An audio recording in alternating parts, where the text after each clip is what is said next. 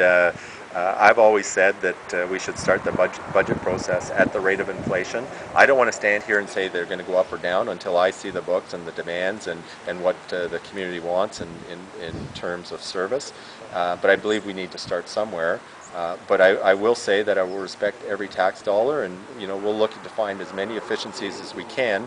And the third point of that would be we really need to work with our uh, other levels of government so that we can receive uh, every dollar that uh, the city of North Bay deserves. And uh, I think that we can open those doors of dialogue and uh, see what we can do for the city of North Bay when it comes to uh, provincial and federal dollars. So are you saying has been made relations of- were sorry. frosty with other levels of government? I, I, I didn't say that the uh, relationships were frosty. I just said that we need to improve the relationships with other levels of government, and that's something that I'd like to do. You're running, I mean, you ran against Monique. Now, you- if you get elected mayor, you're going to have to become maybe not business part, well, maybe in some respects business partners with her. How do you feel about that? Uh, I think that's fine. Uh, the people uh, elected a Monique Smith, so I respect that.